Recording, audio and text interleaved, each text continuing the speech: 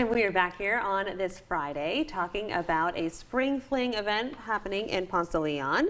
It is a first, and I have these ladies, Jessica Harris, Administrative Assistant with Ponce de Leon, and then Council Member Marilyn Haney. Good to see you, ladies. you. Yeah, it's good to and uh, let's talk about this awesome event. It's a first time thing, and you're just excited Very excited. to have this for your community. So tell me about the spring fling. Um, it's our first one. We, we are hoping to expand maybe next year, Yeah. but we are going to start off with the Easter egg hunt at 10 o'clock. The Easter Bunny will be there. We'll have some pictures taken later on inside.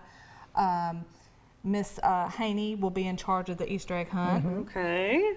So Um, lots of lots of Easter eggs to find.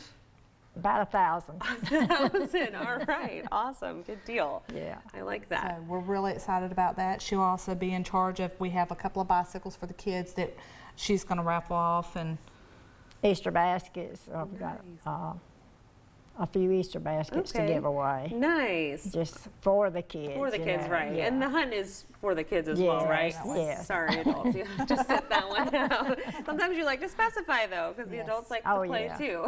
exactly. but there's plenty for the adults to do as well. There is. Mm-hmm. Um, we'll have a dunking booth. There'll be um, like cornhole and things like that. Yeah. Mm-hmm. Um, there'll also be bounce houses and stuff for the kids. But we'll have vendors set up. Uh, we have some woodworking, some vinyl, um, some candles, things like that.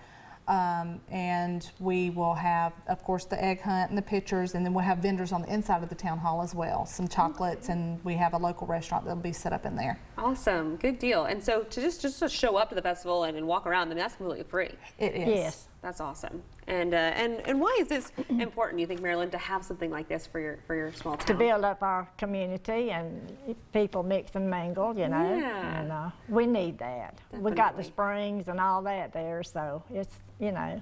Yeah. And we're a small town, but Right. But it's a beautiful little area, and you'd like is. other people to come from other areas too. Right. Definitely so. We would we would like to you know let everyone else know what we have to offer. You know we we do have nice folks in our town, and we just want to bring some other folks in. Yeah, I love that. Well, it's going to be April 6th. That is a Saturday from 10 a.m. to 4, right at the town hall. Yes, Okay, where where is that? Is regard like a, like on a s- on a road? Just give it's on Highway 90. Highway right 90. There, All right there, smack in the middle of Ponce. All right, can't, Can't miss miss it. all right, all right, ladies. Thanks so much.